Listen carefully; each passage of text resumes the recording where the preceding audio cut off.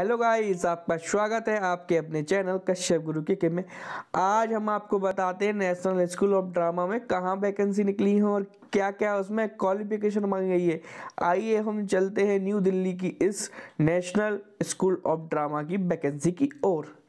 जैसा कि आप देख रहे होंगे, ये रेगुलर बेसिस पर रहने वाली है मेरे मित्रों रेगुलर बेसिस पर रहने वाली है ये।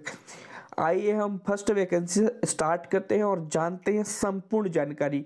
देखते हैं पहली पोस्ट। जैसा कि आप देख रहे होंगे असिस्टेंट रजिस्टर्ड की इस पोस्ट है ये। इसमें बैचलर ऑफ़ डिग्री मांगा गया साथ ही साथ इसमें पाँच साल का एक्सपीरियंस मांगा गया है।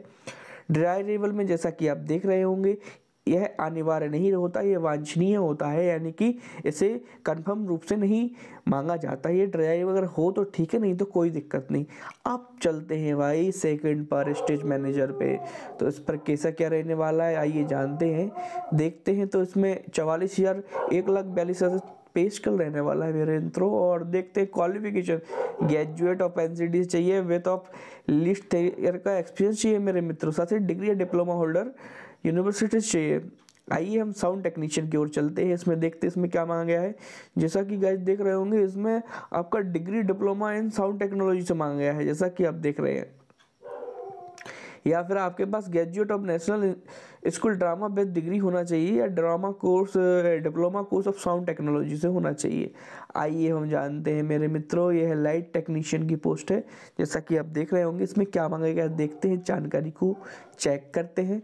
थ्री ईयर डिप्लोमा मांगा गया है मेरे मित्रों, और एटलीस्ट फाइव ईयर का एक्सपीरियंस रहने वाला है मेरे गाइस फ्लूट कम सहनाई, इसमें मेरे मित्र flute presence in the techniques चाहिए आपके लिए। आवाज़ आते हैं जूनियर हिंदी ट्रांसलेटर जैसा कि इसमें देख रहे हैं, मेरे मित्रों मास्टर डिग्री मांगी गई है। आते हैं जूनियर हिंदी स्टेनो मेरे मित्र बारहवीं हिंदी अस्सी पर मिनट होना चाहिए। इसमें स्टूडेंट मेरे मित्रों, साथ ही साथ दो साल का एक्सपीरियंस मांगा गया है। नॉलेज ऑफ़ कंप्यूटर होना चाहिए मेरे मित्रों। जैसा कि स्टेनो इंग्लिश में भी सेम ही दिया गया है। आइए हम नीचे चलते हैं और देखते हैं। रिफ्सन इंचार्ज में देखें तो ग्रेजुएट फ्रॉम रिकोनाइज यूनिवर्सिटी से मांगा गया है।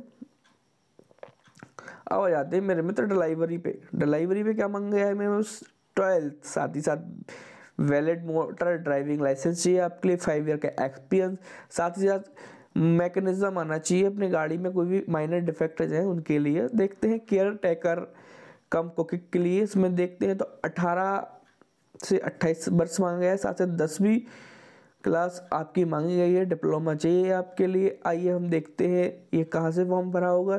तो ये N C D government dot in की वेबसाइट पर जाकर आप भरे फॉर्म इसको।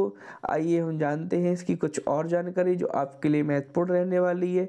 देखते हैं इसकी फ़ीस के बारे में। जैसा कि आप देख रहे होंगे, जनरल कैंडिडेट के लिए दो सौ रुपये साथ ही साथ ओ बी सी के लिए सौ रुपये रहने वाली है। आइए, thank you thank you so much.